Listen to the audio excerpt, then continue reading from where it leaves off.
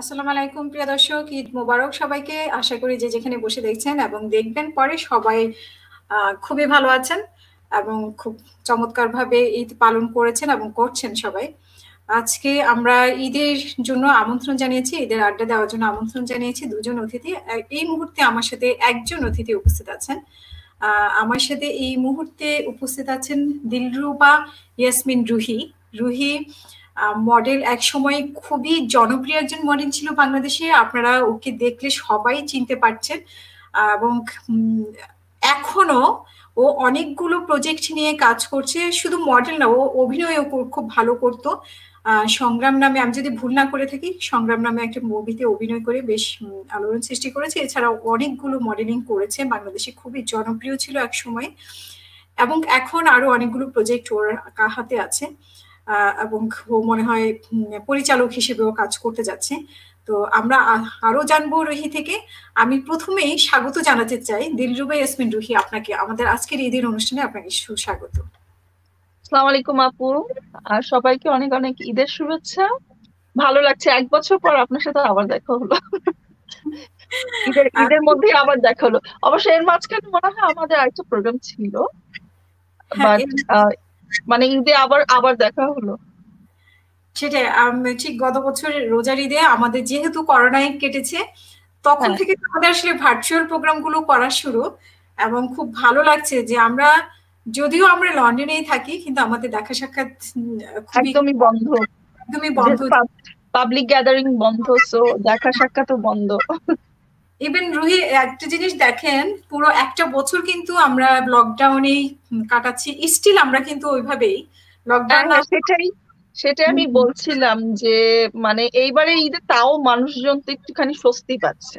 Like আগের চেয়ে বরং এখন একটু বেটার হ্যাঁ যে লোকজন এখানে একটু আনন্দ করতে পারছে।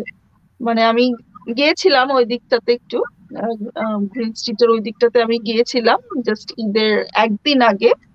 মানে আগের দিন না, তার একদিন আগে ডে বিফোর তো আমি দেখলাম লোকজন খুব খুশি হয়ে শপিং করছে ইভেন শপিং সেন্টার ফ্রেন্ডদের সাথে মিট করছে। তো এটা খুব থাকে না যে মানুষের তো কিছু আনন্দ ভাগ করে নেওয়ার যে প্রসেসটা হ্যাঁ ওই জিনিসটা থেকে তো আসলে আমরা মনে হচ্ছে যে প্রায় এক দেড় বছর, দুই বছর ধরে মানে ই হয়ে আছি।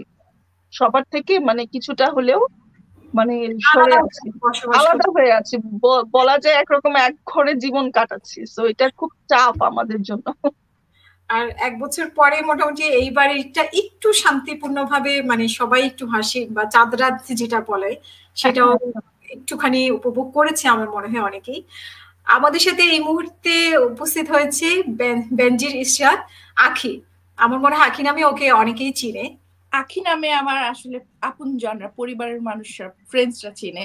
আসসালামু আলাইকুম ইন মুবারক আমি সরি বিকজ কালকে রাতে লন্ডনে বাইরে গিয়েছিলাম কালকে দিনে অ্যাকচুয়ালি সো রাত করে আসছি বাসায় মানে ঘুমতে ঘুরতে উঠতে একটু লেট হয়ে গেছে আমি সরি বলছিলাম সেটা। কোনো সমস্যা নেই আর আমাদের মনে হয় আমরা একটু লেটেই শুরু করেছি। আমাদের সকাল সকাল যেহেতু মানে উইকেন্ডে তারপরে আমরা সকালে স্যাটারডে সানডে আসলে উইকেন্ডে এখানে সকাল সকাল শুরু করাটা একটু ডিফিকাল্ট আরও দেশের ইয়ে থেকে লন্ডনের বাইরে যেহেতু ছিল একটু এসে রিল্যাক্স থাকা যেটা। তারপরও বেঞ্জির তোমাকে অনেক সুন্দর লাগছে মাসাল্লাহ অনেক ভালো লাগছে। দুইজনকে আমার লেট হয়ে গিয়েছে। আপনার শোতে আসছিলাম আমাকে দেখলে খুবই মরালাম মানে পুরো একদম মনে হচ্ছিল আমার জীবনে কোনো সুখ নাই। এই একটা চেহারা নিয়ে আসছিলাম। একটু এবার একটু সুন্দর করে একটা করতে তুমি এমনি সুন্দর আমি প্রথমেই দিলরু বাবাকে বলছিলাম যে দিলরু বাবা আপনাকে আজকে খুবই চমৎকার লাগছে এবং দুইজনকে খুবই ভালো লাগছে যে ঈদের মানে আমরা তো লকডাউনের মধ্যেই জীবন যাপন করেছি গত কয়েক মাস। তার মধ্যে এখন হয়তো বা একটু রিল্যাক্স তার মধ্যে ভার্চুয়াল যে অনুষ্ঠানগুলো আমরা চলছে এই যে প্রিয় মুখগুলোকে দেখা সবার অ্যাটলিস্ট ভার্চুয়ালি দেখা সেটারও কিন্তু অনেক রকম একটা আনন্দ কাজ করে। তো খুব ভালো লাগছে তোমাদের দুজনকে আজকে আমাদের দর্শকরাও দেখছে এবং তোমরাও আমাদের টেবিল টক অনুষ্ঠানে জয়েন করেছ। দুজনকে অসংখ্য ধন্যবাদ। এবং বেঞ্জিরির সাথে যদিও সবাই চিনেন তারপরেও বলি যে একসময় খুবই জনপ্রিয় একজন মডেল ছিল দিলরুবা ইয়াসমিনের মতোই। তো আমি আপু সাগরুদ টাইপ ছিলাম বাট আপুর মতো আর কি ছিলাম না। আপুর মতো ছিলাম না। আসলে ওকে আমি খুব একটা পাইনি ওকে ওর সাথে আমার দুই একটা কাজ করা হয়েছে ও আমার ইন্টারভিউ করেছে এটা মনে আছে। ছিল অনেক বেশি গ্ল্যামার ওয়ার্ল্ডের মানুষ হ্যাঁ? আর আমি আর কি সেমি গ্ল্যামার ওয়ার্ল্ডের মানুষ ছিলাম উপস্থাপনাও করতাম। সো আপুর দিকে আসলে আপুর মতো মানুষের মানে জন্য আমাদের হচ্ছে গিয়ে চোখটা তাকিয়ে থাকতো যে একটু কবে এদেরকে দেখব কবে একটু এদের সাথে কাজ করব কিছু জিনিস শিখব। মানে একটা স্বপ্ন মানে স্বপ্নের মানুষ আর কি যে ওদেরকে দেখে হ্যাঁ। শিখব সেরকম। আমাদের আমাদেরও ছিল তোমরা যেহেতু আমাদের জুনিয়র সো ব্যাপারটা আসলে ওভাবে একজন আরেকজনকে জেনারেশন ওয়াইজ আসলে পাস হয় তাই না? যেমন আমরা আমাদের সময় যেটা হতো যে আমরা ইমি আপুদেরকে দেখতাম বা তার আগে বিপাশা আপু বা সমী আপুদেরকে দেখতাম শ্রাবন্তী আপুদেরকে দেখতাম। হ্যাঁ ওদেরকে দেখে আমরা খুব এক্সাইটেড হতাম যে আমরা কি পারব? আমরা কি ওদের মতো পারব? হ্যাঁ হ্যাঁ। তারপর মানে রুহি যখন কাজ করা শুরু করেছিল আমার মনে হয় প্রচুর কাজ করেছে করেছেন আপনি মনে হয় না? ওই সময়টা আসলে বিজি গেছে আপু। তখন কাজ ছাড়তো র্যাম্প মানেই তো আপুরা। হুম হুম।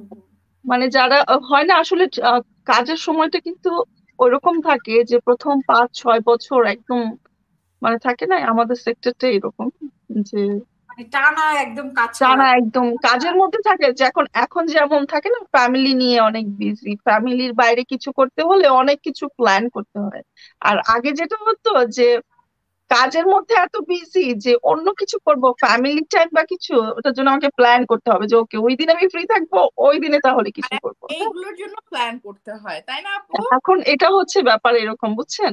সো ঠিক আছে আমার কাছে মনে হয় কি যে এক একটা লাইফের এক একটা চ্যাপ্টারে এক একটা জিনিসের বিউটি আসে হ্যাঁ?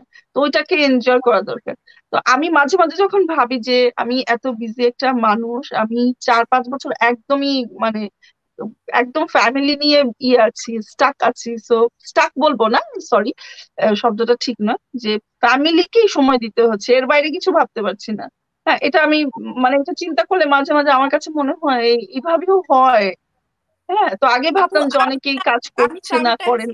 ফ্রাস্ট্রেটেড হয়ে যাই। লাস্ট যেদিন আমি রুহি আপুর সাথে দেখা করলাম আপু আমাকে অনেক আপু হয়তো বা জানেও না মনের অজান্তে আপু আমাকে অনেক কিছু শিখিয়েছে। যে জীবনের সব স্টেজ গুলোই আসলে এনজয় করতে হয়। তো ওই দিন কিন্তু আমি অনেক ইন্সপায়ার হয়েছিলাম আপু। তুমি দেখছ তো আমি কি পরিমাণ বিজি থাকি? আমি আসলে মানুষকে না আমি বলে বুঝাতে পারব না। অনেকে হয়তো মনে করে আচ্ছা ঘুরে ফিরে। হ্যাঁ বাচ্চাদেরকে নিয়ে ঘুরে ফিরে শপিং করে এটা সেটা এরকমই। আসলে লাইফ কিন্তু আসলে এরকম না।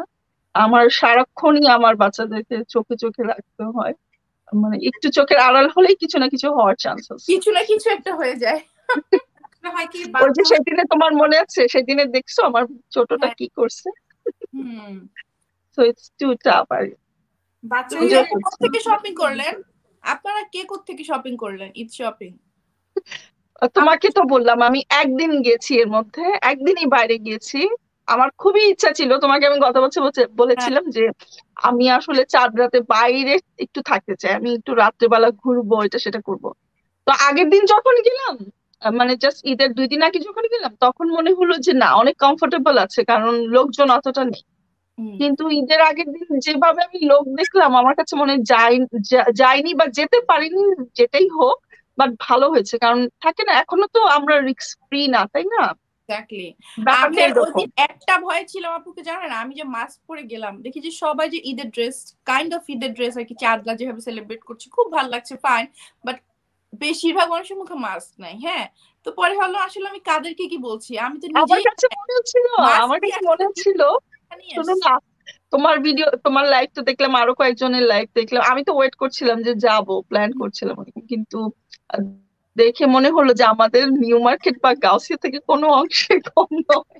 আমি তো ওই দিনের ব্লগটা আমি এখনও এডিট করার সময় পাচ্ছি না আপু। ব্লগটা দিলে বুঝবেন যে কি অবস্থা ছিল গ্রিন স্ট্রিটে আর হাসির আপু তো মুচকে মুচকে হাসছে আপু তো সব না হাসিনা আপু আমি হাসিনা আপু ওখানে ছিল? হাসিনা আপু ছিল ওখানে? না আমি যাইনি। যাইনি কেন? ওই যে রোজা রেখে না টায়ার্ড মানে একটু টায়ার্ড লাগছিল ভাবলাম যে একটু রেস্ট নেই। বাট সবার ব্লগ দেখে যা মনে হয়েছে যে প্রচুর মানুষ হয়েছে একদম মানে আগের মতো। করোনার আগে যেভাবে হ্যাঁ। সেরকম। কেউ কোনো মানে ওই যে ও বলল যে মাস্ক আমি কাউকে দেখি নাই। যতগুলো ব্লগ দেখেছি মাস্ক কিন্তু পড়তে দেখি নাই। সবাই হ্যাঁ ইভেন আমি ট্রেনেও ট্রেনে আমি ট্রেনে গেছি আমার বাড়ি থেকে ট্রেনে যেতে কি সুবিধা হয়। তো আমার কাছে যেটা মনে হলো ট্রেনে সেদিন যেই পরিমাণ ভিড় ছিল এবং মানে লোকজন হ্যাঁ মাস্ক পরেছে বেশিরভাগই বাট যতই হোক থাকে না যে আপনি একটা লিমিটেশন তো থাকে না যে একটা বগিতে আপনার এতজন হলে ভালো হয়। টেন পিপল বা ফিফটিন পিপল হ্যাঁ তো দেখা যাচ্ছে পাশাপাশি বসছে। হ্যাঁ পাশাপাশি বসছে দাঁড়িয়ে আছে ডোরের সামনে দাঁড়িয়ে আছে সো আমার কাছে মনে হচ্ছে না আসলে এই সময়টায় বেশি বের হওয়াটা ঠিক হবে না। ওকে ওকে ক্যান আর আমরা তো অনেক পার করে এসেছি আমরা তো পুরো হ্যাঁ। একটা মোটামুটি কঠিন আমরা ওই যে বাংলাদেশে মানে যে রকম সিচুয়েশন হয় যে ভিড় বা করোনাকে ওরা যেভাবে করেছে আমরা সেভাবে কিন্তু করিনি আমরা কিন্তু যথেষ্ট নিয়ম পালন করেছি তাই না আমরা এখানে মানে নিয়ম মানতে মানতে একটা টাইম আসলে আর ইচ্ছে করছে না যে না। মাস্কটা পরলে আমার মনে হচ্ছে আমার দমটা বেড়ে যাচ্ছে। আমি মানে আস্তে আস্তে এখন অভ্যাস হয়ে গিয়েছে। আলহামদুলিল্লাহ আমি এখন মাস্ক পরে থাকতে পারি। এখন বলছে ওইটা একটা অংশ না? ওইটা হ্যাঁ একটা পারি। এখন অংশ হিসেবে মেনে নিতে হবে মানে আমি পরার সাথে ওইটা আমাদের একটা পরি। আমি ড্রেসের সাথে এখন ম্যাচ করে মাস্ক পরি যে তখন পড়তেই হবে। আমি ম্যাচ করেই পড়ি। ভালো তোমার তো বাইরে যেতেই হয় আমার হ্যাঁ। কিছু কিছু জিনিস তো ধরো আমি আচ্ছা যাব না থাক পরে যাব। লাইক চাঁদরাতের ব্যাপারটা না তোমাকে তো বললাম আমার এত যাওয়ার ইচ্ছা ছিল আমি তোমার সাথে প্ল্যান করলাম। হ্যাঁ আর ওর আইরিনকে বললাম যে আমি আসব। তো আমাকে মেসেজ দিচ্ছে আপু কই তুমি? যে আমি আসতে পারিনি। আচ্ছা আমরা এবার একটু ঈদের গল্পে আসি। এবার তোমরা যখন কাজ করতাম, তোমরা যখন যখন তোমাদের ব্যস্ততার সময়গুলো, তখন ঈদের সময় আসলে তোমাদের কীরকম কাটতো?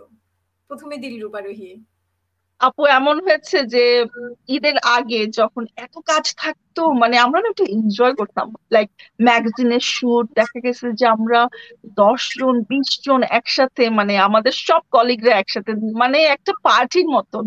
সবাই একসাথে মেকআপ টেকআপ করে, নতুন নতুন জামা পরে মানে ফটোশুট করছি। হ্যাঁ এটা ধরেন আপনার এমন হতো যে ঈদের একদিন দুই দিন আগ পর্যন্তও চলছে।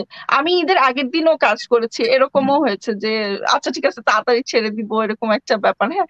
বাট ব্যাপারটা হচ্ছে কি যখন অন্য কলিগরা থাকে আর কাজে এরকম হতো যে একটা সময়ে না হয়ে যেত যে ও ও ও থাকবে। সো আমরা না তখন আমরা বুঝে যেতাম আচ্ছা ও আছে ও আছে ওকে আজকে সারাদিন অনেক মজা করব মানে অনেক গল্প করব হা হা হি হি করব এরকম ব্যাপারটা হ্যাঁ।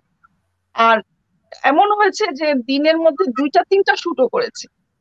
শুট করেছি হ্যাঁ আবার শুটিং থাকলে তো ধরেন শুটিং মানে হচ্ছে মানে অত না যেমন আমরা ফটোশুটের মধ্যে যেমন মজা করি লাইক পাঁচটা সাতটা মানুষ বা দশটা মানুষ ডিফারেন্ট দশটা মানুষ আর নাটকের শুটিং বা সিনেমা শুটিং এ যেটা হয় পার্টিকুলার দুই তিনজনই থাকবে। অনেক বেশি মানুষের সাথে আসলে মজা করার সুযোগ নাই। তো সেই ক্ষেত্রে আমার কাছে মনে হয় যে আমরা বেশি মজা করেছি ফটোশুটে মানে যত ফটোগ্রাফারদের স্টুডিও এগুলো হচ্ছে আমাদের মানে নিজের বাসার মতন। হ্যাঁ মানে শুয়ে বসে, খেয়ে দে মানে ডাল ভাত হোক আর যাই হোক মানে সবাই একসাথে মজা করছি। That was the great part বুঝছেন? মানে আমি এখন চিন্তা করি যে আমি এখন ওরকম খাই না, কিন্তু তখন আমি এত বেশি খেতাম মানে এত আমরা স্ট্রেস ফ্রি এমন একটা মজার সময় ছিল না। থাকে না যে বন্ধু বান্ধবের সাথে আপনি যখন খেতে বসবেন আপনি কিন্তু পাগলের মতো খাবেন মানে থাকে না, আমি এটা খাব আমি খাব টেনে টুনে খাব ব্যাপারটা এরকম হ্যাঁ। তো ওই যে স্ট্রেস ফ্রি মজার একটা সময় আমরা কাটিয়েছি ওইটা আসলে আমি মিস করি। ওই ওই ওই মজাটা না মানে ই করে বর্ণনা করা যাবে না খুব মজার সময়। আপনাকে আপনার আগের ছবিগুলো যদি দেখি কালকে তো আমি মানে আপনার যখন ওই ছবি একটা পোস্টার করতে হয় একটা পোস্টারের জন্য ছবি বের করতে হয় আমি কালকে আপনার প্রোফাইলগুলো দেখলাম। এত শুকনো ছিলেন মনে হয়তো না যে খাওয়া আমি অনেক আন্ডার ওয়েট ছিলাম আমি অনেক আন্ডার ছিলাম। কেউ এখন আমি যখন একটু গেইন করেছি কেউ এটা নিতে পারছে না। কেউই নিতে পারছে না যে আমি আসলে গেইন করতে পারি বা ইভেন আমার ফ্রেন্ডরা বিশ্বাস করতে পারে না যে আই হ্যাভ টু বেবি অনেকে দিতে পারে না যে রুহির দুইটা বাচ্চা হয়েছে হ্যাঁ? কারণ আমার ফ্যামিলি হচ্ছে আমি বড় মেয়ে। এবং আমি ওদের কাছে বেবি লিটারেলি আমি ওদের কাছে বেবি মানে বড়দের অন্যরকম একটা আদর থাকে তো।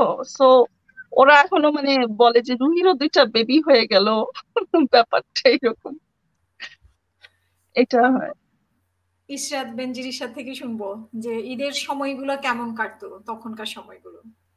আপু আমি তো উপস্থাপনা নিয়ে ব্যস্ত থাকতাম বেসিক্যালি সো উপস্থাপনা মানে বিভিন্ন চ্যানেলে ঈদের অনুষ্ঠান আর ঈদের অনুষ্ঠান মানে সেলিব্রিটিরা আসবে নায়ক নায়িকারা আসবে।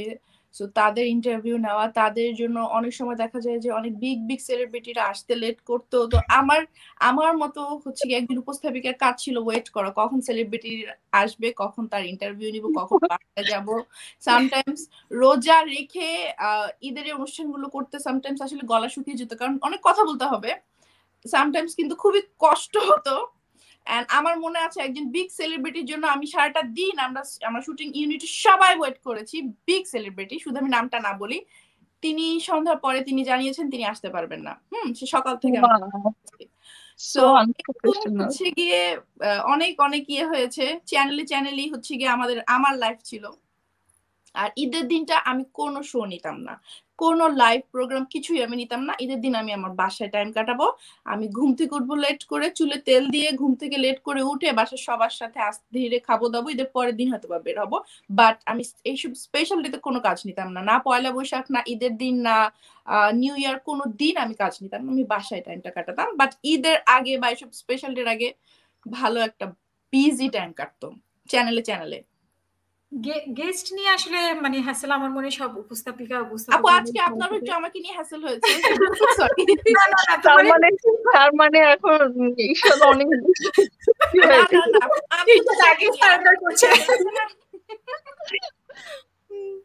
না এই অভিজ্ঞতাটা হয়ে থাকে। যেমন আজকে আমার আরেকটা প্রোগ্রাম যেমন সকালে উঠে আরেকজন সিক কল দিল। তো এটা আসলে নতুন কিছু না এটা হয়ে থাকে। এটা সবাই ফেস করে থাকে। আচ্ছা আপনি আপনারা যারা দেখছেন আপনারা যদি চান আপনারা অবশ্যই আপনারা শেয়ার করে দিবেন। আপনাদের কাছে রিকোয়েস্ট থাকবে আপনারা শেয়ার করে দিলে আরও অনেক মানুষ দেখতে পারে। যেমন ওরা এক সময় বাংলাদেশে বিশেষ করে দিলরুবা রুহি অনেক জনপ্রিয় ছিল। ওকে অনেকদিন মানুষ দেখছে না। ওকে দেখলে অবশ্যই বাংলাদেশের মানুষ খুশি হবে যে এত প্রিয় একজন মানুষকে মিস করছে বা সেভাবে হয়তো ওর সংসারের কারণে, বাচ্চার কারণে একটু পর্দার আড়ালে আছে। তো ওকে দেখলে অবশ্যই খুশি হবে। বেঞ্জি রিশাদ খুবই সুইট একটা মেয়ে। এখন অনেক ব্লগ নিয়ে ব্যস্ত আছে। তো ওদেরকে দেখলে আমি মনে করি যে মানে অনেকেই খুব খুশি হবে। তো আপনারা যদি শেয়ার করে দেন, খুবই ভালো হয়। আর আপনারা যারা আমাকে রিকোয়েস্ট করছেন যে আপনারা জয়েন করতে চান। আসলে টেকনিক্যাল কারণে আমরা জয়েন করতে পারছি না। আপনি অবশ্যই কমেন্ট করেন ওরা আপনাদের কমেন্টের উত্তর দেবে। কারণ জয়েন করানোটা একটু টাফ তো আমি আমাদের আলোচনায় যাই। দিলরুবা ইয়াসমিন রুহি এখন তো একটা ফ্যাশন ডিজাইনের উপর নিজেই একটা প্রতিষ্ঠান আমার মনে হয় যতটুকু আমার আমি করার চেষ্টা করছি। আপনার সাথে লাস্ট টাইমে যেটা কথা হয়েছিল আসলে সিচুয়েশনটা এরকম যে আমরা গত দুই বছর যাবত কিন্তু আমরা আসলে আলটিমেটলি লকডাউনে কারণ আমরা যখন কথা বলেছি টু থাউজেন্ড টোয়েন্টিনে হ্যাঁ টোয়েন্টিনে মার্চের এপ্রিলে দিয়ে কথা বলেছি। যে দেখেন এখন হচ্ছে two thousand twenty one so একটা বছর কিন্তু আমাদের জীবন থেকে আসলে একদমই ঝরে গেছে। কোনো প্ল্যান করা যাচ্ছে না। ইনফ্যাক্ট বিজনেস যারা করছে স্মল বিজনেস বা অন্যান্য জিনিস যারা করছে সব সব সেক্টরে সব সেক্টরেই একদম মানে একটা বলা যায় ধস। ধস এসছে বা বলা যায় একদমই নিষ্ক্রিয় একটা বছর আমরা কাটিয়েছি। তো সেখান থেকে মানে কারোই মনে হয় না যে প্রোগ্রেস ওভাবে হয়েছে। প্রোগ্রেস কেউ করতে পারেনি। মানে এই একটা বছরে কেউ সুস্থ আছে এটাই মনে হয় যেন সবচেয়ে বড় প্রাপ্তি তাদের জন্য আমার কাছে ফিল হয়। সো অনেক প্ল্যান ছিল, অনেক প্ল্যান ছিল। ইভেন আমি আরেকটা প্রজেক্ট আমি একটা টেলিফিল্ম আমি ডিরেক্ট করব, এরকম প্ল্যান ছিল। সবকিছু ঠিকঠাক। শুটের আগের দিন রাত্রে বেলা দেখি হঠাৎ করেই lockdown so this is so weird যে আমি যা যা প্ল্যান করছি, আমার মতো নিশ্চয়ই আরও অনেকের অনেক কিছু হয়েছে। আর লন্ডনে যেহেতু আসলে রেস্ট্রিকশনগুলো অনেক বেশি স্ট্রিক্ট স্ট্রিক্ট আপনি একটু ফাঁকি দিবেন বা ধরেন যে জিনিসগুলো আমার দরকার লাইক আমরা যেমন ধরেন ব্লগিং করছে সে একা একা করতে পারছে বা ধর mom talking go to daddy so যেটা হচ্ছে কিন্তু আমাদের শুটিং বা ধরেন একটা আমি একটা যদি শো করতে চাই কিছু করতে চাই ওটার জন্য আমাকে কিন্তু আরও আট জন দশ জন লোকের দরকার ইনভলভমেন্ট দরকার যেটা আমাদের এখানে একদমই রেস্ট্রিক্টেড ইনফ্যাক্ট শুটিং এও অনেক রেস্ট্রিকশন আছে। ছজন বা চারজনের বেশি মিট করা যাবে না। তো ওভাবে আসলে একটা টিম ওয়ার্ক করা মানে একটা কাজ করাটা নামানোটা খুব ডিফিকাল্ট হ্যাঁ মানে এখানে হেল্পিং হ্যান্ড লাগে, আমার এইটি লাগবে আর্টিস্ট তো আছে ডিফিকাল্ট তো সবকিছুই পজ করে রেখেছি। এখন এই যে এখন ছুটে যাচ্ছে আমরা এখন প্ল্যান করা শুরু করেছি যে ইন জুন দেখা যাক কি করা যায়। ব্যাপারটা এরকম। তো এর ভিতরে তো একটা মিউজিক ভিডিও আমরা কাজ করার সুযোগ পেয়েছিলাম। যদি ওইটা আট দশ জনের ছোট একটা টিম ছিল তখন ওটা অ্যালাউড ছিল। তো এই এতটুকুই। এর মাঝখানে আর কিছুই মানে কোনো কিছু আগানো সম্ভব হয়নি। প্ল্যান করছি আমরা। প্ল্যান চলছে। আসলে একটা বছর তো প্ল্যান ছাড়া প্ল্যান আগের গুলোই স্থগিত হয়ে আছে। ওই যে সময়ের সাথে রেস্ট্রিকশন কি কি আছে কি কি হচ্ছে সেগুলোর সাথে ম্যাচ করে আসলে আমাদের প্ল্যান করতে হচ্ছে। রিপ্ল্যান আসলে রিপ্ল্যানিং করতে হচ্ছে। আচ্ছা তুমি তো বেশ ব্লগিং টগিং করছ বেশ মানে সব সময় অ্যাক্টিভ চেষ্টা করি আপু। হ্যাঁ আমরা দেখি সব সময় দেখি খুব মানে ফেসবুকে ঢুকলে বা কি বলব ইনস্টাগ্রামে একটা খুব সুইট একটা মেয়ে ঠিক আছে সব সময় অ্যাক্টিভ মানে আপু আমি যেটাই করি আমি যদি মানে অফিসে যাই আমার তো আসলে কোনো কিছু করার নাই। সেখানে হয়তো বা কিছু একটা করে লাইফটা এনজয় করার চেষ্টা করি। মানে কাজটা বোরিং বাট আমার লাইফটাকে তো বোরিং বানানো যাবে না। কিছু তো একটা করতে হবে। আর যেহেতু আমার মেকআপ ভালো লাগে আমার ড্রেস আপ করতে ভালো লাগে সো আমি আমার মতো করে বের হই আমার মতো সবকিছু করি। তার মাঝে আসলে কাজটাও করতে হয়। এই আর কি। কেমন তো তোমার তো করোনার সময় তো তোমার এটাই মানে তুমি অফিসে অফিস তো করতেই হয়েছে সবারই তো কয়েক মাস বন্ধ ছিল তার মাঝে আমারও হচ্ছে করোনা হলো তো সবকিছু মিলিয়ে তখন একটা ভালো গ্যাপ গিয়েছিল। তো এরপরে আসলে আমরা জোরে সোরে নেমেছি যে না এখন অ্যাটলিস্ট কাজ করতে হবে এখন সবকিছু ঠিকঠাক হচ্ছে আর কত বসে থাকব। আচ্ছা। তো হ্যাঁ, মানে ব্লগিং এর কাজগুলো মোটামুটি মানে ওই যে অত রেস্ট্রিকশন বা নিজে করা যায় তো নিজে নিজে? হ্যাঁ হ্যাঁ নিজে নিজে করা যায়। আর হচ্ছে একটা টাইমে আমি নিজেও খুব বিরক্ত হয়ে গেছিলাম যখন একদম লকডাউনের ফার্স্টের দিকে। আমি খুবই আমরা খুবই ফ্রাস্ট্রেটেড হয়ে গেছিলাম। ঘুমাবো একটু পরে কেন ঘুমাবো? সকালে উঠে আবারও ঘুমাতে হবে। বা আচ্ছা কি করব?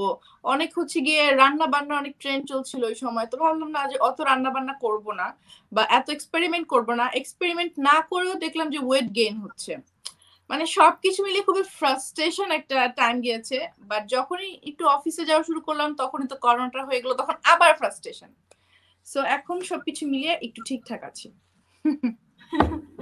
আমারও মনে হয় তাই। এখন মোটামুটি লাইফটাই ইজি গোয়িং আর কয়েকদিন আগে দেখলাম যে ইংল্যান্ডে একদম জিরো ডেথ ছিল।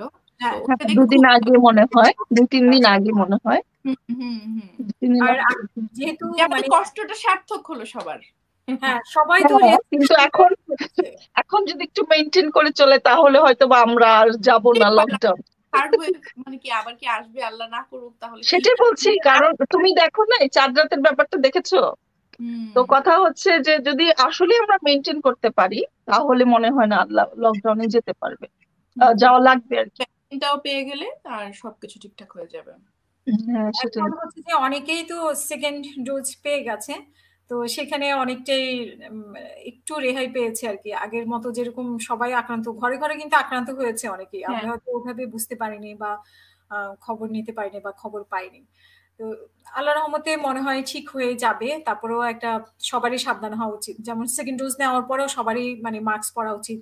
সেভাবে চলাফেরা করা উচিত। তাহলে হয়তো বা আমরা মানে সুস্থভাবে বেঁচে থাকতে পারব খুব মানে কি বলব? মানে আর সেভাবে যে হসপিটালে যাওয়া যায় ব্যাপারটা প্রথম অবস্থায় যেভাবে ছিল সেভাবে আর হয়তো হবে না।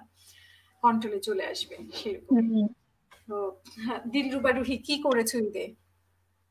তেমন কিছুই করিনি। কারণ আমি দেখেছি যে আসলে ঈদে আমি যখন রান্না করি, অনেক প্ল্যান করি, তো দেখা যায় ওগুলো আসলে সব ওয়েস্ট হয় বেশিরভাগই ওয়েস্ট হয়।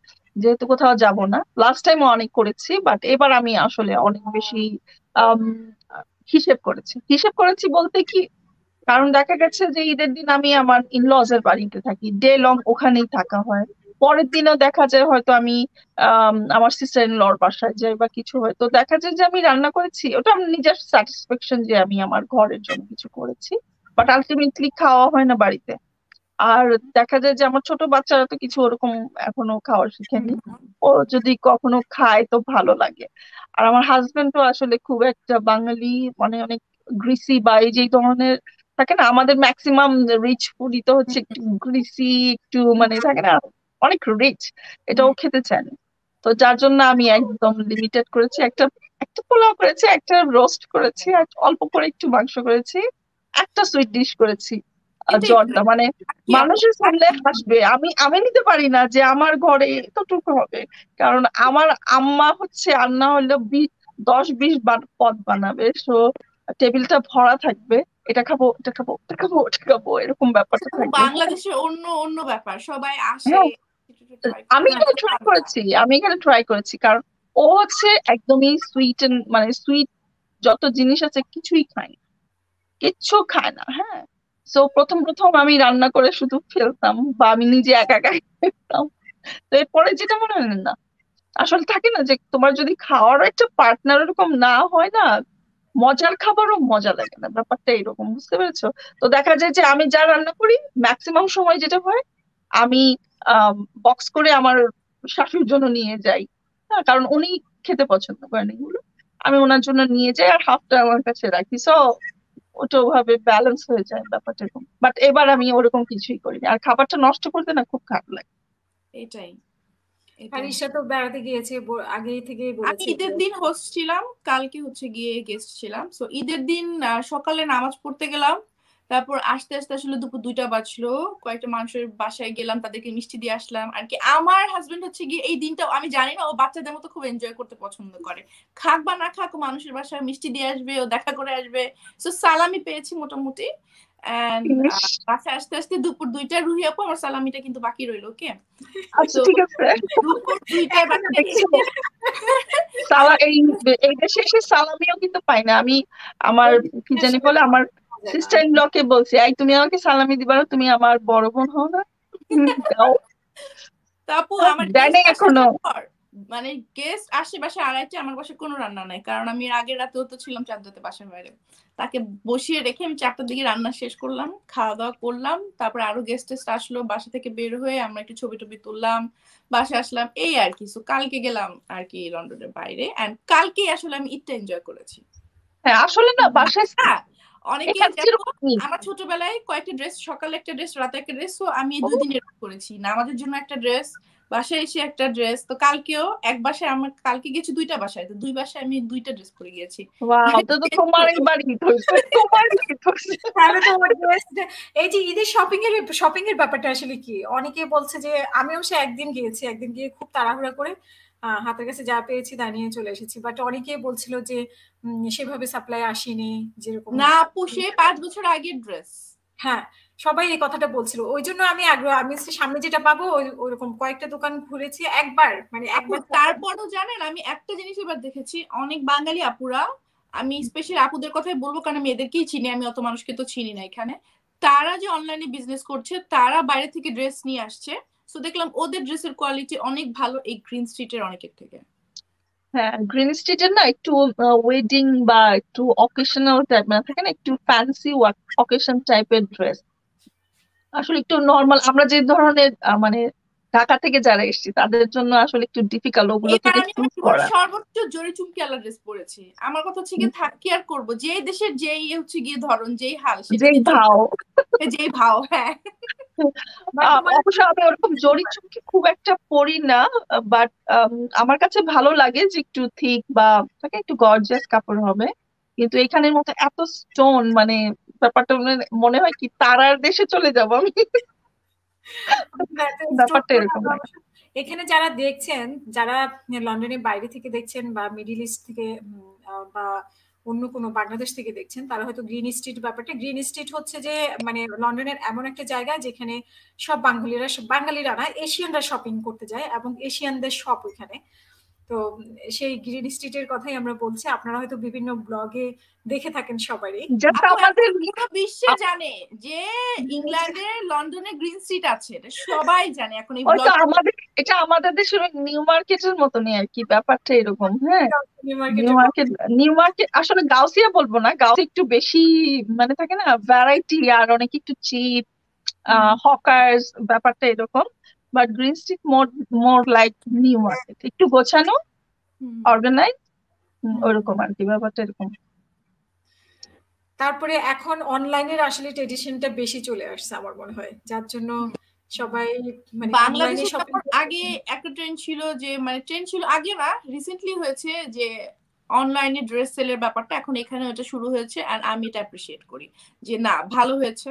এখন অনেকে বাসায় বসেই এই কাজটা করতে পারছে। হ্যাঁ এটা কিন্তু ভালো। দেখো কয়েকটা মানুষের প্রফেশনাল নতুন নতুন কিছু প্ল্যাটফর্ম তৈরি হয়েছে। হ্যাঁ প্রফেশনাল কি বলব? এটা পোস্ট যেমন ধরো আমি গত এটা আমি গত দু তিন বছর ধরেই দেখছি। ধরো ইনফ্লুয়েন্সার বা ধরো লাইভ সেল সেলার সেলার বলব। আসলে লাইভে এসে সেল করছে সেলে ইনফ্লুয়েন্স করছে। তো এই জিনিসগুলো নতুন নতুন এই পোস্টগুলো নতুন নতুন দেখছি বাট ইটস গুড আর এটার মধ্যে বেশিরভাগ মেয়েরাই ছেলেরা একটু কম এখানে। যে ছেলেরা আমার মনে হয় আমি কিছু ভিডিও দেখলাম থাইল্যান্ড বা সিঙ্গাপুরের হবে ওরা আবার এভাবেই সেল করতে পছন্দ করে। আগে এটা দেখতাম যে ওরা একটা পর একটা পর একটা হ্যাঁ, দেখাচ্ছে কথা বলছে। হ্যাঁ আগে না সিঙ্গাপুরে আমি এই জিনিসটা দেখেছিলাম থাইল্যান্ডেও দেখেছি। তো এখন দেখলাম এটা আমাদের দেশে অনেক বেশি পপুলার হয়ে গেল। আর এখানে রিসেন্টলি লন্ডনে এবছর দেখেছি। এবছর দেখলাম খুশবু ওরা আরও অনেকেই দেখলাম শুরু করেছে। ভালোই। বিভিন্ন ভাবে শুরু করেছে।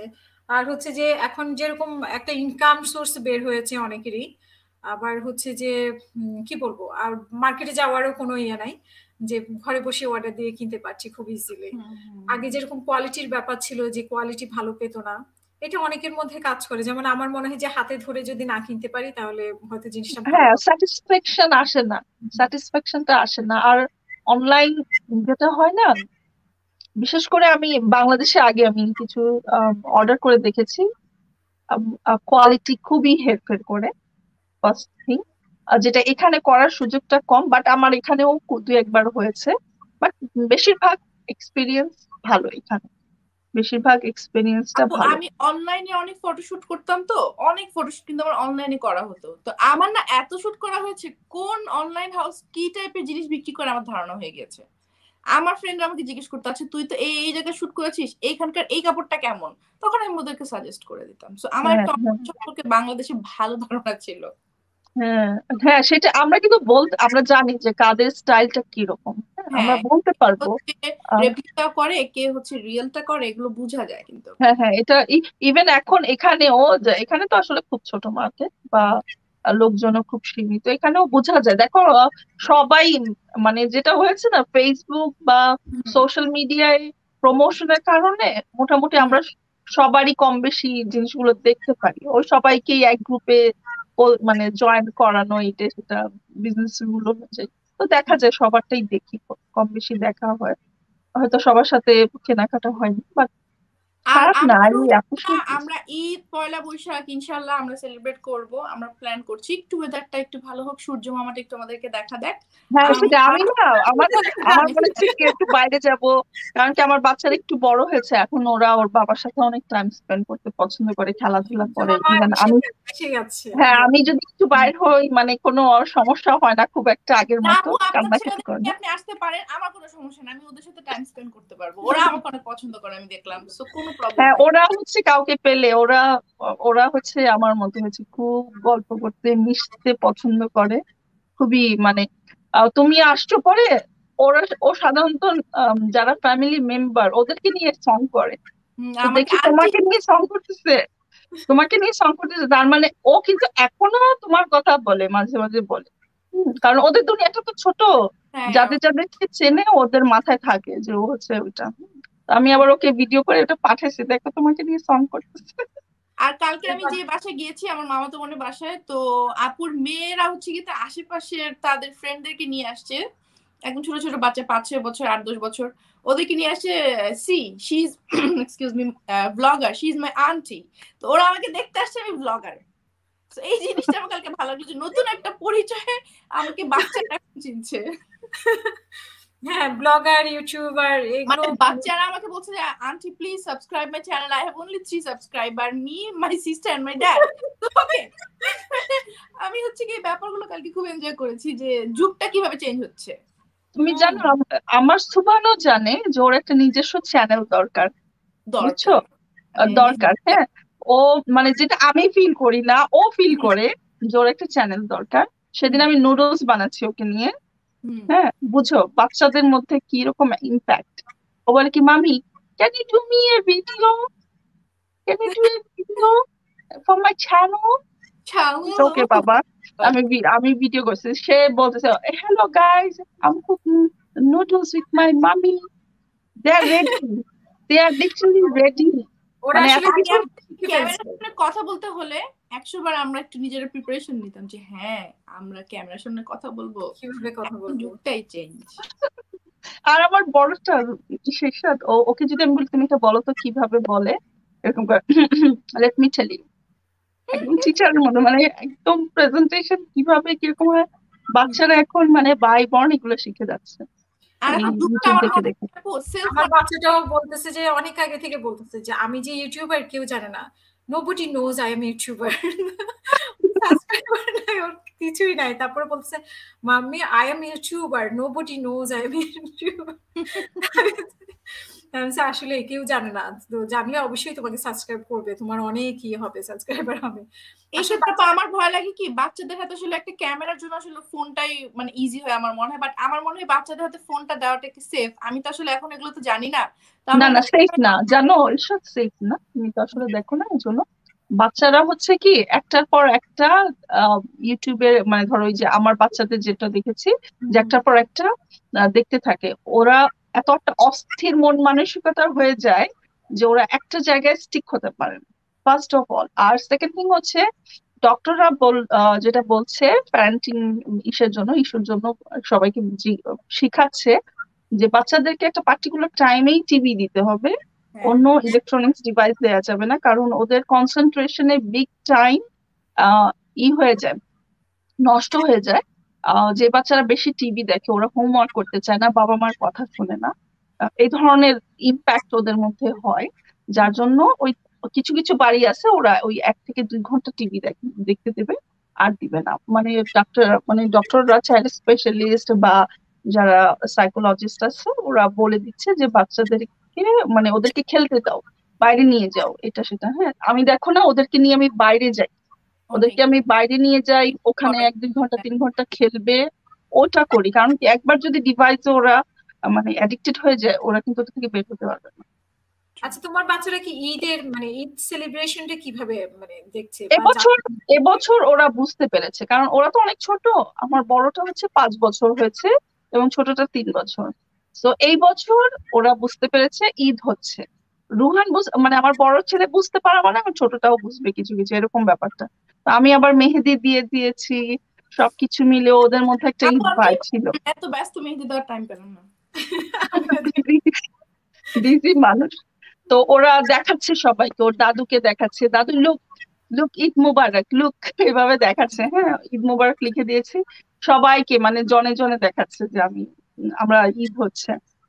এবং আরেকটা মজার জিনিস মজার জিনিস ও স্কুল থেকে শিখে আসছে we are Muslim Eid is our festival hmm ওদের কিছু ফ্রেন্ড আছে ওরা মুসলিম না তো ওইটাও বলছে। ও রিলিজিয়ন সম্পর্কে এবছর জানছে মানে খুব মানে সে হচ্ছে কি এইসব ব্যাপারে খুব ডিপলি জানতে চায় আমার কাছে। অনেকবার অনেক প্রশ্ন করছে ওর আব্বুকে অনেক প্রশ্ন করছে যে আমরা মুসলিম যখন আমার চার বছর ছিল তখন কি আমি মুসলিম ছিলাম? যখন আমার তিন বছর ছিল তখন কি আমি মুসলিম ছিলাম? আমি ওর মানে উত্তর দিতে দিতে শেষ কি না তুমি যখন বর্ণ হয়েছো তখন তুমি মুসলিম ছিলা। অনেক কিছু আর বাচ্চারা খুব সহজে পিক করে। বাচ্চাদের হয় কি অনেক মানে এত প্রশ্ন মানে শুনলে খুব অবাক লাগে হাসি পায়। আমরা হয়তো বাচ্চা থাকতে এত ভাবে এই প্রশ্নগুলো আমাদের আসতো না কিন্তু ইশরাতের অবশ্যই এখনও সেই অভিজ্ঞতা হয়নি। আমাদের থেকে শুনে শুনে অভিজ্ঞতাটা নিচ্ছে। বাচ্চাদের হাজার রকমের প্রশ্ন। যে হ্যাঁ। আমি যখন ছোট ছিলাম ওরা কিন্তু ছোট তারপরেও বলবে যে আমি যখন ছোট ছিলাম হ্যাঁ হয়েছে সে হয়েছে অনেক গল্প করবে। তো এটা স্কুলে কিন্তু শেখাচ্ছে যে ওরা ঈদ তোমাদের মানে মুসলিমদের এবং ঈদের সেলিব্রেশন আমি আমার বাচ্চা দেখলাম যে গতকালকে ঈদ পার্টি ছিল ওদের স্কুলে। হ্যাঁ সবাই ড্রেস পরে এসেছে মানে খ্রিসমাসের সময়। যেরকম হ্যাঁ, সবাই সেলিব্রেট করে ঠিক ঈদের সময় সবাই একসাথে করল। আর এবার এবার দেখলাম আমি স্কুল থেকে মেসেজ করেছে ঈদ মোবারক মেসেজ করেছে যেটা আমি গত বছর বা তার আগের বছর পাইনি। পাইনি হ্যাঁ এই বছর আমি পেয়েছি। ওরা আসলে এই জিনিসগুলো এই ডাইভার্সিটি গুলোকে এখন অ্যাপ্রিসিয়েট করছে হ্যাঁ? এই জন্য মানে থাকে না যে আমাকে স্কুল থেকে বলছে তুমিও কিন্তু শাড়ি পরে আসবে ওকে আমাকে মানে টিচারদের সাথে কিছু বাঙালি টিচার আছে তো আমরা তো একদম নিয়ার বাই মানে আমাদের মানে একদম নেইবারহুডের মধ্যে স্কুল পড়ে তো আশেপাশের টিচারও আমাদের পরিচিত। তো আমাকে বলছে তুমি কিন্তু শাড়ি পরে আসবে সো ব্যাপারটা এইরকম ওরা ওভাবে নিচ্ছে সিরিয়াসলি নিচ্ছে। টেক্সট একদম সবকিছুই পেয়েছি এবার ফর্মালি পেয়েছি এই জন্যই আমার কাছে একটু ই লাগল ডিফারেন্ট লাগল। এবং ঈদ পার্টির যে দিনটা ঈদের জন্য মানে সবকিছুই ফর্মালি সবকিছুই ইয়ে করা হয়েছে এবং সবাই দেখলাম যে খুব সুন্দর করে সবাই সেজে গুজে এসেছে। যারা খ্রিস্টান তারাও ঈদের ড্রেস পরে এসেছে দেখলাম। আর আপনি কি খেয়াল করেছেন? হাসিনা এবার কিন্তু অফিসিয়ালি মানে এখানে যে একটা আজান হলো রোজার মাঝে একটা আজান হলো হ্যাঁ, আমার বাড়ির পাশেই হলো ব্রিজের পাশে। এটা কিন্তু অন্যরকম একটা ইম্প্যাক্ট ফেলেছে। অন্যরকম একটা থাকে না যে ঈদ তো হয় আমি এখানে ঈদের ওইরকম বাইক পাই না কখনোই। যে সবাই স্কুলে যাচ্ছে মানে একটা অপশনাল থিং এর মতো। বাট এবার যেটা হলো না ওই আজানটা রোজার মাঝে আজান তারপরে ঈদ। সো এটা একটা অন্যরকম ইম্প্যাক্ট করেছে ওদের। যে ওকে এটা তো ওদের ফেস্টিভ্যাল ওরা করছে।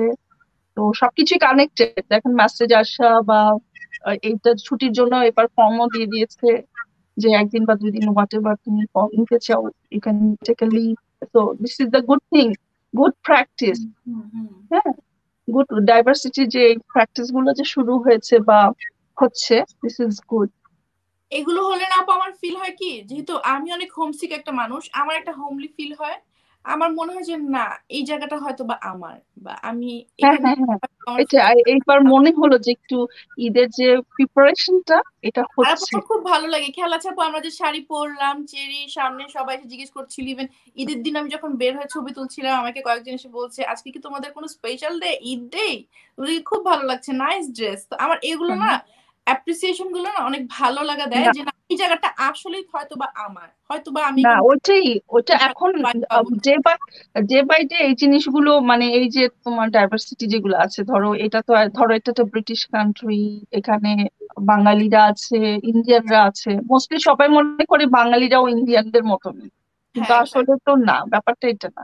আমি আসার পরে প্রথম প্রথম খুব ওয়েস্টার্ন ড্রেসেস পরতাম কিন্তু এমনি আগে থেকে আমি শাড়ি পরতে খুবই পছন্দ করি। আমার মানে কালচারাল যত জিনিস এগুলো আমার ভালো লাগে। আমার ফ্রেন্ডরা কেউ তুই এত শাড়ি পরিস কেন? শাড়িটা পরছে বয়স্করা পরে হ্যাঁ বয়স্করা পরে হ্যাঁ বয়স্করা শাড়ি পরে। তুই কেন শাড়ি পরিস?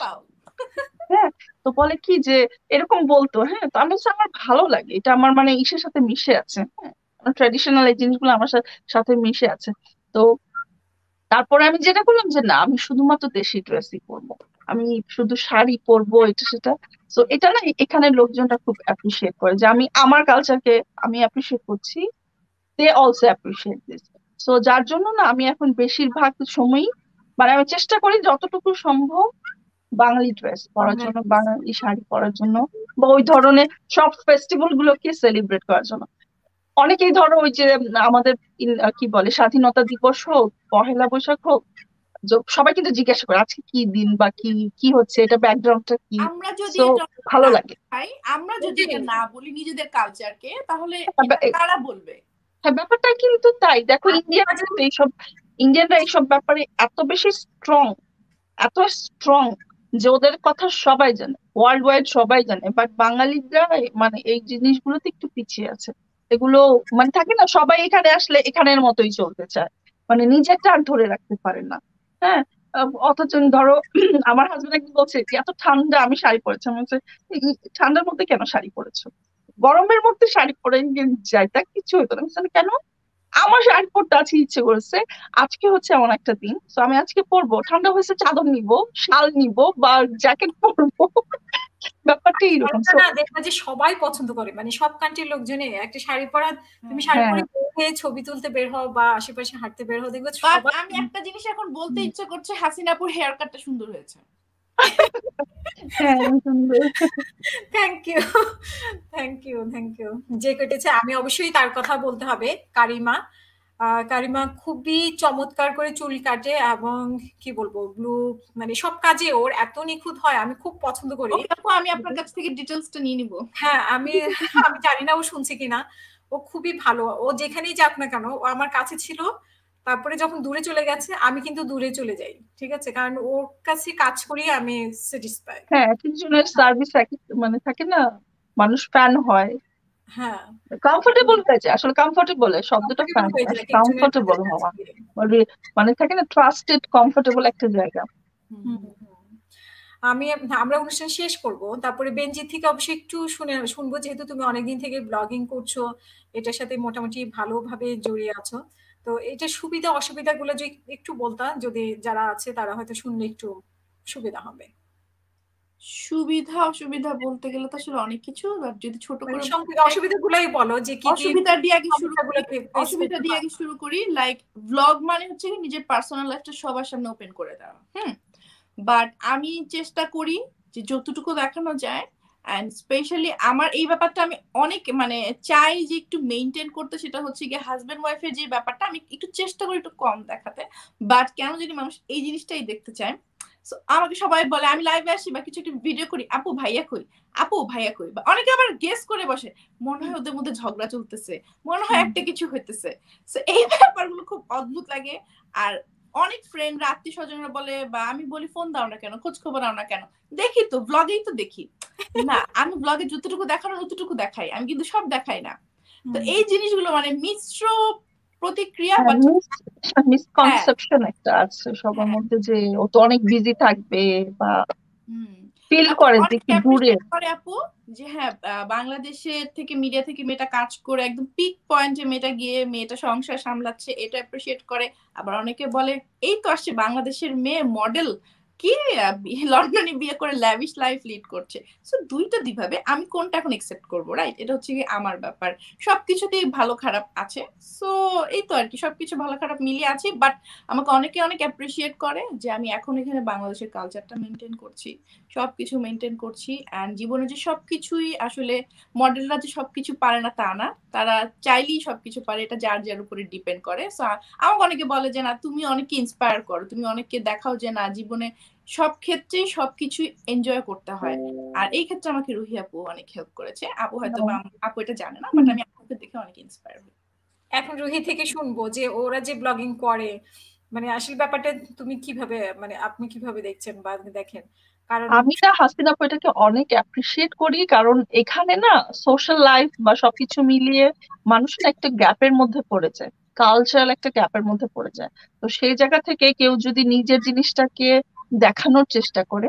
এটা চমৎকার জিনিস। আর কথা হচ্ছে কি এটা পার্সোনাল প্রেজেন্টেশন বা নিজের একটা ইও তৈরি করে ইম্প্যাক্টও তৈরি করে যে আমি এই জিনিস অ্যাটলিস্ট কিছু একটা নিয়ে বিজি আছি।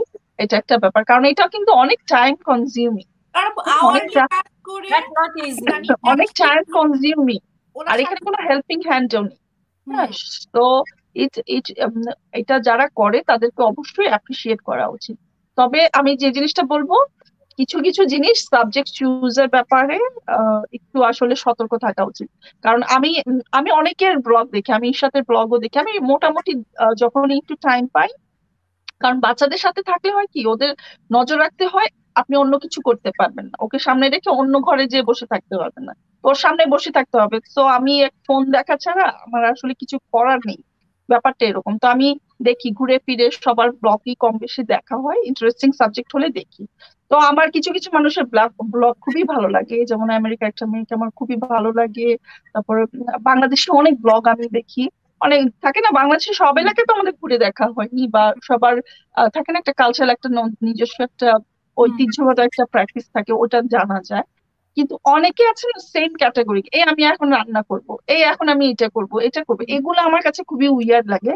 ব্লগিং আসলে এভাবে হয় না। ব্লগিং এর একটা সুন্দর ভাষা আছে। ইনফরমেশন দিতে হয় ভাষা আছে। ভাষা আছে যেটা না অনেকেই মিস করে যায়। যারা এখন এখন তো ধরেন আমি অনেক ব্লগার দেখছি বাট ব্লগিং এর যে ল্যাঙ্গুয়েজটা এটা মিস করে যায়। হ্যাঁ এটা মিস করে যায়। তো এটা কিছু কিছু মানে বিরক্তির কারণও হয়। ওই জিনিসটা মাথায় রাখা দরকার। আর এখন তো অনেকেই আছে সো নিজে যদি এরকম ক্রিয়েটিভ ইনোভেটিভ না থাকে না নতুন নতুন জিনিস না দেখায় তাহলে আসলে এই কাজটা করারও খুব একটা যে মানে আছে তা কিন্তু না। তো ওই জিনিসগুলো বাট আমি অ্যাপ্রিসিয়েট করি যারা এত এফোর্ট দিচ্ছে। যেমন আমি চাইলেই কিন্তু এখন পারব না। হুম, আমি চাইলেই পারব না। আমি ধরেন একটা খুব বড় যদি একটু ভিডিও করে রাখতে পারি যে হ্যাঁ যদি কখনো সুযোগ থাকে এটাকে কম্বাইন করে একটা ছোট একটা ব্লগ বা ছোট একটা ফুটেজ করে রাখব। So it's it takes lots of time and effort so যারা করছে তাদেরকে আমি আসলে অনেক অ্যাপ্রিসিয়েট করি। ওইটাই আমার মনে হয় যে এটা সাবজেক্ট চুজের ব্যাপারটা একটু সতর্ক সবারই হওয়া উচিত এবং যে আমি বাজারে গেলাম শুধু বাজার দেখাতে থাকলাম ঠিক আছে? ওই যে আমি একটা মজার জিনিস বলি আমি কিছুদিন আগে একটা ব্লগ ব্লগারকে দেখছি আমি আজকে আমার একটা বেডশিট কিনেছি। আজকে কিছু আমার কাছে খুবই সিলি মনে হয় যে একটা প্যাকেট আসলে না এগুলো আসলে পার্সোনাল লাইফ আমি কি খেলাম না খেলাম না সামথিং ইন্টারেস্টিং আজকে না আমি একটা এরকম খাবার খেলাম মেক্সিকান বা হোয়াট এভার এই এই আইটেমটা টোটালি ডিফারেন্ট কীভাবে বানানো হয়েছে কোথায় ভালো পাওয়া যায় এটার আমি একটা ছোট্ট ইনফরমেশন দিতে পারি হুইচ ইজ সবার জন্য হয়তো আশেপাশে যারা আছে ওরা এটার ইনফরমেশনটা পেল।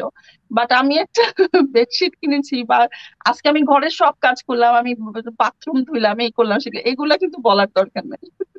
না সেটাই। এই জন্যই আসলে অনেকে অপছন্দ করে অনেকে। তবে ইয়ে বেঞ্জিরের সাথে ভাইরালের যুগে আপু সবাই ভাইরাল হতে চায়। কিছু হ্যাঁ করেই ভাইরাল হতে চায়। এটাই হচ্ছে প্রবলেম কিছু একটা করে ভাইরাল হতে চায়। আমরা শেষ করব। শেষ করার আগে দিলরু বা রুহি তোমার আজকে শেষ বক্তব্য আমার দর্শকদের জন্য যারা দেখছে এখন যারা পরে দেখবে এবং তোমার যারা শুভাকাঙ্ক্ষী প্রিয় মানুষ সবার জন্য।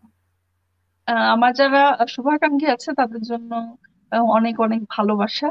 যারা দেখছেন, তাদের জন্য অনেক অনেক ভালোবাসা।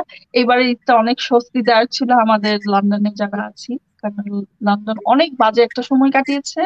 সেই সময়টা থেকে এখন একটু নিঃশ্বাস নিতে পারছে। ব্রিদিং এর টাইমটা এখন খুব মানে হ্যাপি টাইম সবাই মানে বন্ধু বান্ধবের সাথে মিট করছে, বাসায় একটু পার্টিও হচ্ছে। ইটস গুড তো আমি বলব লন্ডনের ফ্রেন্ডদের জন্য আসলে খুব বেশি উল্টাপাল্টা কিছু করেন না। অ্যাটলিস্ট আমাদেরকে এইভাবে একটু স্বাধীনভাবে চলার সুযোগ দিয়ে এটাই। এই- বিষয়গুলো একটু মেনে চলে আর আর আনন্দ তো আসবেই। আনন্দ তো আসবে না। যারা টিকা নেননি ভ্যাকসিনটা নেননি, নিয়ে ফেলেন। টিকা নিলেই যে একদম আপনি হান্ড্রেড পার্সেন্ট ই থাকবেন সেফ থাকবেন, তা কিন্তু নয়। অ্যাটলিস্ট আপনার কিছু অ্যান্টিবডি তৈরি হলে আপনি কিছু প্রোটেকশন পেলেন আর কি। তো সবাই একটু সাবধানে থাকবে এখন এই সময়টায়, বিশেষ করে ট্রেন এবং অন্যান্য যে কনজাস্টেড ক্রাউডি এরিয়া গুলোতে একটু সাবধান থাকবেন বা অ্যাভয়েড করবেন। এটাই। আর সবাই খুব ভালোভাবে ঈদ করেন। এইবারে ঈদটা আসলে খুব ভালো ছিল, যদিও আমার বাসায় একটু ঝামেলা ছিল। আমার বড় মানে আমার দুইটা বেবিরই একটু ঠান্ডা, জ্বর জ্বর ওয়েদারটা খুবই ইয়ার বাট আদারওয়াইজ খুব মানে পিসফুল একটা ঈদ কাটিয়েছি। সারাদিন লজের বাসায় ছিল। ওরা একটা ছোট কিটেন এনেছে। আমার বেবিরা সারাদিন কিটেন দিয়ে খেলা করেছে। ওদের যে একটু শরীর খারাপ ছিল, আমি এটা বুঝতেও পারিনি। দে ওয়ার সো হ্যাপি তো সবাই আসলে সবাইকে মিস করছে। এই দুই বছর লকডাউনে থাকার পর সবাই সবাইকে মিস করছে যে আমি মানুষের সাথে মিশবো মানুষের সাথে দেখা করব। যেটা যে কত ব্লেসিং কত এই সামাজিক ব্যাপারটা যে কত বড় ব্লেসিং এটা সবাই মিস করছে।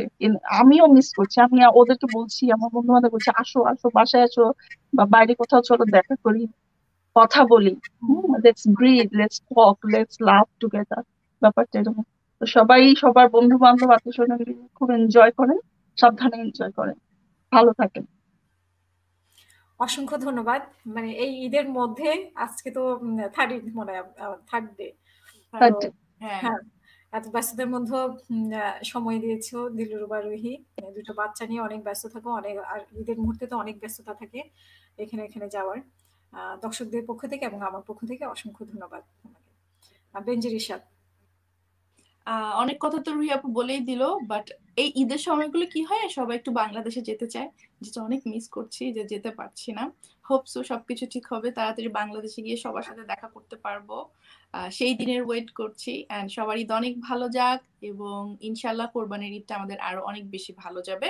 শুধু একটু, আর একটু ধৈর্য ধরতে হবে, আর একটু সবকিছু মেনটেন করতে হবে, তাহলেই সব সমাধান হয়ে যাবে ইনশাল্লাহ সবাইকে আবারও ঈদ মোবারক এবং আপু, আপনাদেরকে অনেক অনেক অনেক ধন্যবাদ। আমি লেট করে আসছি, এটার জন্য আবারও সরি তোমাকে অসংখ্য ধন্যবাদ, কারণ তুমি কালকে ঘুরে এসেছ, বেড়ায় এসেছ, কিন্তু তারপরও তুমি অ্যাটেন্ড করেছ অ্যাটলিস্ট মানে একটু দেরি হলো।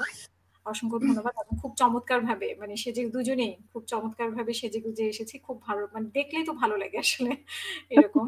আর হচ্ছে যে দর্শকদের কাছে যারা আমাদের সাথে যোগ দিতে চেয়েছেন আমি খুবই দুঃখিত। আমরা পরবর্তীতে অবশ্যই চেষ্টা করব যে কোনো অনুষ্ঠানে আপনাদেরকে যুক্ত করার। আগে থেকেই কি প্রশ্ন করবেন বা কি কি আলোচনা করতে চান সেই বিষয়টা জেনে আমরা নেক্সট টাইম আপনাদেরকে অবশ্যই যুক্ত করার চেষ্টা করব। আর সবাই ভালো থাকবেন এবং সবাই করোনার বিধিনিষেধ মেনে চলবেন বিকজ টিকা নেওয়ার পরও একটা ঝুঁকি থাকে। সবাই বলছে, ডাক্তাররাও বলছে সো আমরা এই ঝুঁকিতে যাব না। এই জন্যই আমরা সব মেনে চলবো। যদিও ঈদ করছি, সবাই আনন্দের সহকারে, কিন্তু ঈদের পরে আবার নিজেদেরকে কন্ট্রোল করে আনার চেষ্টা করব। ইনশাল্লাহ আমরা একসাথে এভাবে শো করতে পারব অনলাইনে না। অনলাইনে না হ্যাঁ, একসাথে পাশাপাশি বসে। পাশাপাশি বসে আমরা শো করব ইনশাল্লাহ ভবিষ্যতে। সবাই ভালো থাকবেন তোমরা দুজন ভালো থেকো আবারও দেখা হবে। সেই পর্যন্ত সবাই ভালো থাকবেন আপু।